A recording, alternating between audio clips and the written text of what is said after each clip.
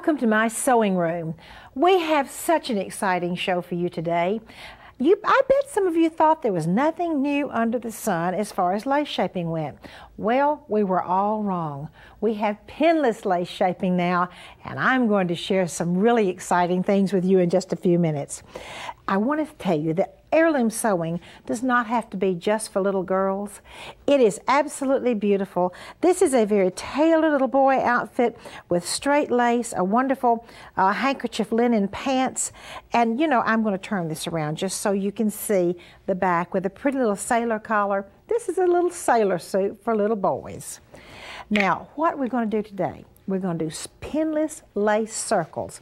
And I thought I would share with you, well, now these aren't really lace circles. This is a pinless lace oval with a Beverly Sheldrick design that is in our Three Best Friends uh, doll book because this is a doll blanket and a doll quilt. And you see this lace oval right here? Well, in a few minutes, I'm going to show you how to do this totally the pinless method. Here is another dress with circular lace shaping, which you could do in the pinless. The Jack and Jill book has so many pretty dresses. This one has the curved lace. This can also be done pinless. Come down look at this skirt and see these pretty waves on this skirt. I'm going to share with you how easy it is. And by the way, when you do pinless lace shaping, it makes it a lot faster. Do you love precious baby day gowns? Well, so do I. And this one is a very tailored christening dress, and it's very, very simple. A very, almost a Williamsburg look. It has a machine embroidered cross, and for those of you of the Christian faith, you might recognize the three intertwined circles for the Father, Son, and the Holy Spirit. A very simple christening dress and another adorable little girl dress for precious little girls. And it has a little machine embroidered at the top, and once again at the bottom, we have machine circles, and we can do those the pinning old fashioned way, but we have new excitement for you. We're going to do this the pinless circle way. Now, for something brand new, come on over with me to the technique boards.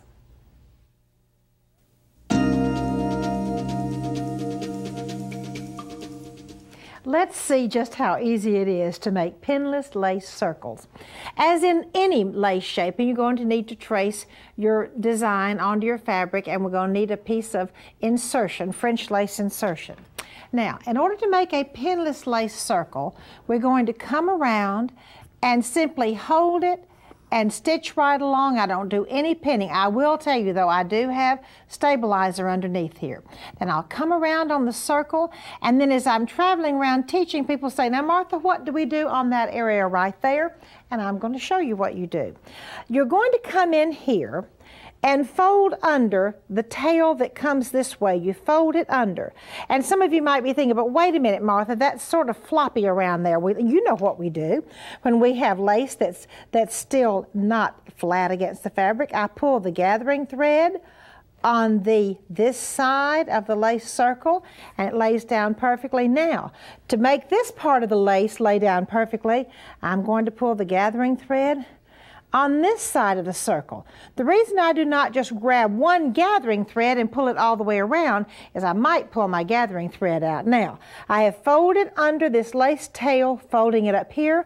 I have pulled the gathering threads. It's now time to come back and do a big zigzag around the outside, a zigzag around the inside, and I'm now ready to cut away the fabric from behind the lace. As you can see, I've done it on this side, and I have my fold under. And what else I did on that fold under? After cutting the fabric from behind the lace circle, I went back and zigzagged over my fold under. This is what the lace circle looks like after you have all of the uh, fabric cut away from behind and you went back and zigzagged over the miter and also it's done in ecru thread on the ecru fabric. Now would you come along with me and let me just kind of show you a little bit of this in live action over here at the sewing machine. First, I thought I just really wanted us to look at this beautiful little dress again that has the lace circles and then it has the scallops. And I just love this robin egg fabric, robin's egg blue fabric with the robin's egg blue bows and these beautiful little flower bouquets in here with a little yellow butterfly. This to me looks just like a little spring dress for a little, a little precious girl. Now, let's have some fun with this circular lace. I'd like to re review one more time. I've stitched part of it here. I'm going to come around and stitch just the outside edge. Then when I come in the center, do you remember what I said I was going to do? You sure you do. I fold this piece under and mash it down. Then I'm going to pull the threads, the built-in gathering threads on both sides. See, I pulled the thread over, I will pull the thread over here and it lays down just perfectly. And I'm going to pull the thread over here and it lays down just perfectly. Go ahead and pull them. See, all you do is just pull it, it lays down. I have turned under the tail of the lace right here on this very edge. I'm going to lay it up, fold it up, and now I'm ready to zigzag the outside or else pin stitch or else wing needle entredeux stitch. Pin stitch or zigzag the outside, zigzag the inside, and then I will cut the fabric from behind the lace circle. After cutting the fabric from behind the lace, I will go back and zigzag over the miter, and that is absolutely, those are the steps. Now let's just go ahead and do this. Let's go ahead and do the uh, pinless lace shaping. I'm using a pin stitch and a large needle, not a wing needle, but a large needle. As you can see, I'm just simply holding the lace, stitching just a little bit at a time. I'm doing my pinless lace shaping. I'm not holding, I'm not, I don't have anything pinned at all. I'm just putting the straight lace on the outside. Let me flatten it out just a little bit here. I do have a stabilizer underneath. And I did use a, a, temporary spray adhesive to secure the stabilizer to the fabric. It just makes it a little bit easier to work with. I'm simply, I'm using a Madeira applique stitch is what I'm using here with just a large needle. It makes such a pretty stitch and really, people, it is not hard to do. Pin this lace shape and you just hang on to it and travel. And you can just do a little zigzag for the first, for going around the first time, you can just do a little bit of a zigzag. And that is absolutely all there is to pinless lace shaping. Let me show you one more place that you can use the circular. We did a little circle on the sleeve of this dress and it makes a really pretty sleeve. It looks like the top of the sleeve is white and the bottom is robin's egg blue, but that really was another little circle that was done on the sleeve of this pretty little dress. And now I have a doll dress for you.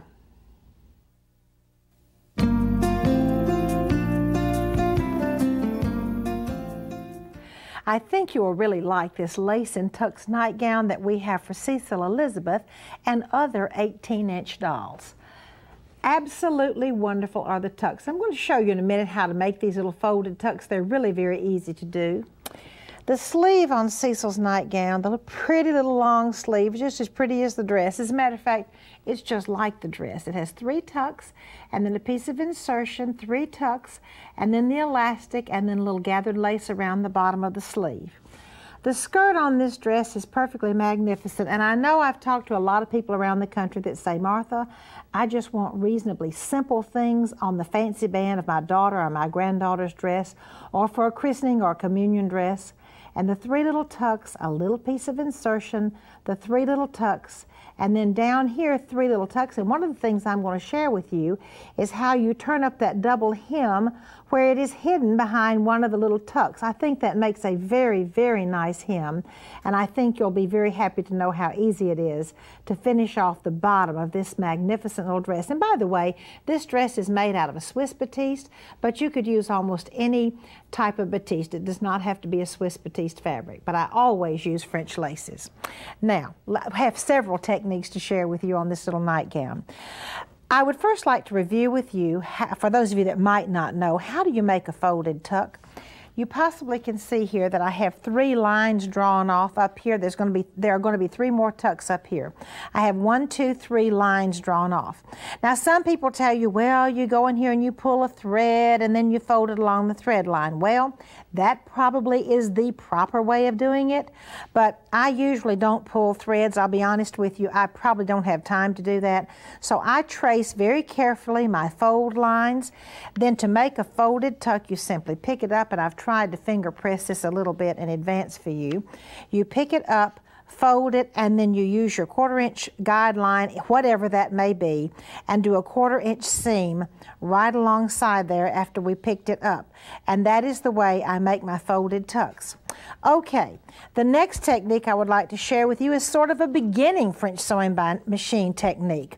So I have the lace pinned right in between those two rows of one, two, three tucks, one, two, three tucks. So I simply pin my lace in between and I really do like to use a stabilizer when I'm going to do a pin stitch as I am now. So I put a little bit of the spray on temporary spray adhesive staple, uh, spray on my stabilizer to hold my fabric to that. And now then, I'm going to come in here and do one of my favorite stitches, which is a pin stitch or a Madeira applique stitch. Always take your pins out, of course. This is one of the most beautiful stitches for heirloom sewing. The Madeira applique, the name the Madeira applique, comes from the Madeira Islands off the coast of Portugal. And it was originally used on tablecloths and wonderful linens that were made in Portugal. It is so wonderful that our modern sewing machines have the Madeira applique, or the pin stitch is another word for the Madeira applique I am not using a wing needle to attach this beautiful lace. I am using a large needle. I think it is a 100, but it may be a 110. I simply pull my pins out and travel right along. Okay, now that is my uh, pin stitch to attach my lace. The next thing I'm going to share with you is how do I sew this double hem in underneath that pin tuck? Well, it's just exactly like it sounds. I go back to a straight stitch. I raise up one side of that pin tuck, just fold it back. Well, it really isn't a pin tuck, it's a folded tuck. I raise up one side, I fold it back, and simply straight stitch right along, straight stitch right, I'm sorry, I didn't get a straight stitch, but anyway, I straight stitch right along the inside of that pin tuck, and then I fold the tuck right down right down where it was, and I have a hidden seam and a very beautiful seam. And you know what I would like to share with you? We talked about the temporary spray adhesive. There are so many notions that have been developed in our wonderful sewing industry. It almost seems like every year we have fabulous new products, sometimes coming from other industries, sometimes just being developed for the sewing industry. I'd like to share with you one of these clever notions, and this particular segment was filmed at a consumer show in Arlington, Texas.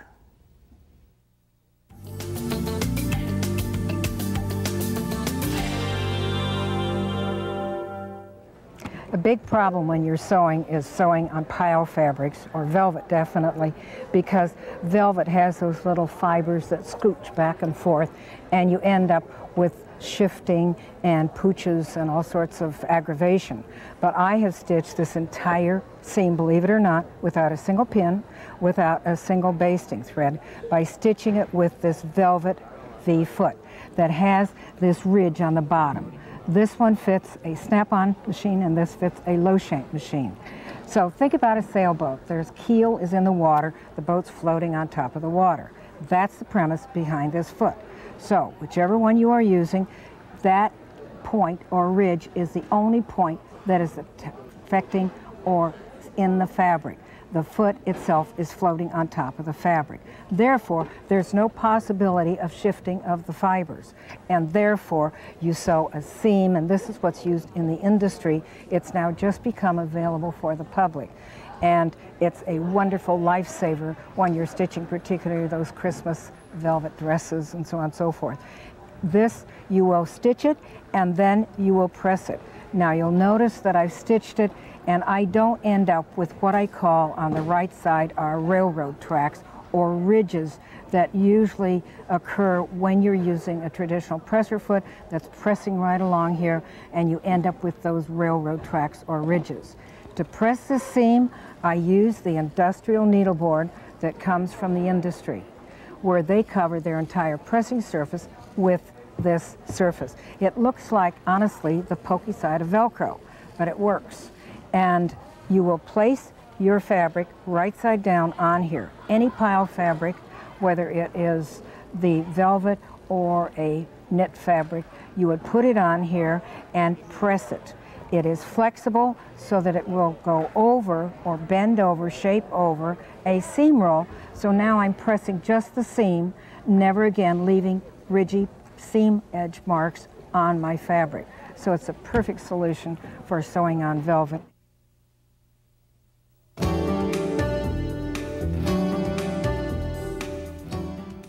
I am pleased to have as my guest today Kathy Neal.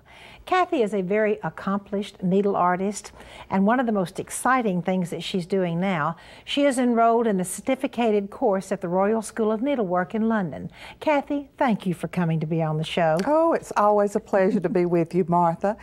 Today, I would like to talk about one of the most cherished of all embroidery stitches, and that's the feather stitch. My grandmother called it the briar stitch. Um, and my great grandmother even called it the chicken scratching stitch. I've heard all, I've heard both of those. But um, it's a basic variation of the fly stitch, and I wanted to start today by talking a little bit about embroidery needles. As you see here from my collection, I have quite a few needles in all of these little tubes. I feel that embroiderers who limit the number of needles that they use and the sizes and the styles really limit their possibilities. Today I'm using a 10 sharp needle. It has a medium length shaft, a very sharp point, and a small round eye. It's perfect for many types of embroidery and one that they use quite a bit at the Royal School too.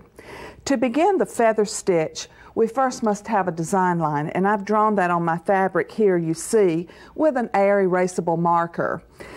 To begin the stitch, um, what I like to do is do what I call darning in, and of course this line will be covered up with stitching. So what I do is I just take a few stitches, a few short stitches, and I leave the little knot right there on top. And what I want to do is come toward the end of my design line. And you'll notice that the the fabric in my hoop is very loose right now, and I want it to be that way. And once I've darned in, then I begin and using this line as my as my guide, I come right up at the very end of the design line and I make a loop below the needle with my thread, just so. And the first stitch comes across horizontally and angles back to the design line, just like that. And when I pull it down, you see it forms a little horseshoe. Now notice I didn't come quite all the way back to the design line. That will keep the stitches nice and curved. If you want them more angled, then you can come all the way back to the design line. On the next stitch, I still make a loop of thread down under the needle, but this time I come on the opposite side of the design line and I want to make sure that that stitch starts right at the bottom of the curve that was formed by the previous one. And I come across and come almost to the design line. And I keep going in this manner. Now at this point, once we've got a couple of stitches done, we can reach right up there and snip off that little knot. And that is in there securely. So now you just go right to left, alternating side to side with your feather stitch nicely and evenly. And by trying to keep your stitches the same size, coming out from the design line the same amount every time and angling down, you start to get a very nice, beautiful little feather stitch, just like that. And as I say, it's quite a wonderful decoration. This is a wonderful stitch to use for foliage or for branches that you add flowers to. As far as using this stitch, it has a multitude of uses. Um, this, is, this is one of my favorite on baby clothes here. You'll notice that I've used it to accentuate. If you have beautiful curves like the scallop of this bonnet, you can accentuate those by doing a decorative um, row of this feather stitching along that, and it really accentuates those beautiful design lines. And of course, one of my all-time favorite tricks is Martha. Sometimes I get a little lazy, and on this particular kimono, Um, I've actually used the feather stitch to trace in a wonderful little Peter Pan collar design. It's not really there, and then added a little trim. And if you did, you'd have to look twice to see that it really was a stitch instead of a collar, and of course used it other places as well. Oh, Kathy, thank you so much. And the feather stitch is truly one of my favorite stitches. And I really like your feather stitch fake Peter Pan collar on this elegant kimono you've made for our viewers. Thanks. Kathy, thank you so much for Thank being you, here. Martha. It's always a pleasure. And now I have a home decorating project for you.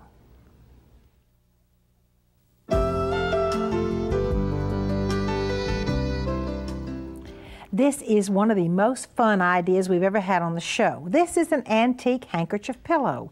I know you've probably been to antique stores and just seen these wonderful handkerchiefs, oh, probably 1930s to 1950s. Anyway, we have a handkerchief just simply stitched on the top of a pillow, and we have rickrack around the edge. And let me say this I was at a very expensive store in Europe recently, and these antique hanky uh, pillows were done in pale pink and pale blue, and they had machine embroidered baby right in the middle, and they were around $100. This did not cost $100. Okay, take any antique hanky that you have, come in where you don't have the scallops, just come in and stitch a square in the middle. We used red thread on this blue antique hanky.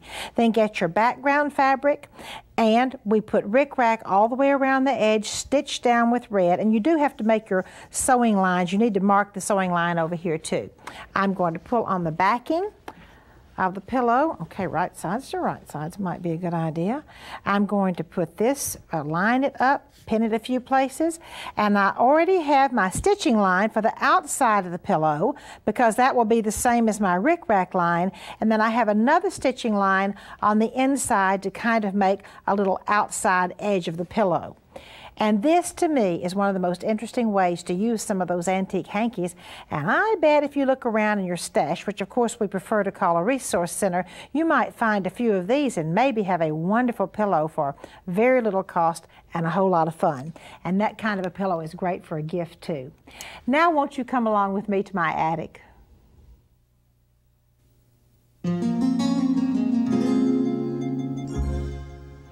On a recent trip to Portobello Road in London, I purchased this nightgown, which I think is the most beautiful nightgown I've ever seen in my life. The lace, the bodice is mitered and it's made out of beautiful lace insertion and beading. Since we learned how to do the pinless circles on this show, I wanted to share this particular circle. This is a piece of embroidery, a circular piece of embroidery, and do you notice the little, the little pink rose? It's a little handmade rose with green leaves. I purchased several pieces of this bridal trousseau, and that was on every one of them. Now, the, the bodice is so pretty. This little panel that hangs down the front has hand embroidery and several pieces of lace, and then the angel sleeves that go up over the sleeves on the gown are really pretty too, with lots of hand pin stitch. But what I think is the most unusual feature of this nightgown is the sleeves. It has a pretty little short puff sleeve, and then two rows of beading, one row of insertion, and then this beautiful cuff that hangs down. Let me hold that up for you to see. It is a square of fabric embroidered all the way around. Really, it looks like a handkerchief, and it might even have been. But it's a square of fabric embroidered all the way around, and a circle has been cut out of the middle so it can be attached to that sleeve. And I have never seen anything quite that unusual. And it is so pretty. When you put this on, it is so pretty because it hangs down so pretty. Now, real quickly, let me turn this around to the back so I can show you that the back is exactly like the front with those pretty circles on it. And there's a little blue ribbon run through the beading. I think you know how much I enjoy searching around the world to get beautiful things to share with you here in my attic. Thank you so much for joining me in my sewing room today. I've had so much fun coming to your home, and I really want to invite you to come back next week.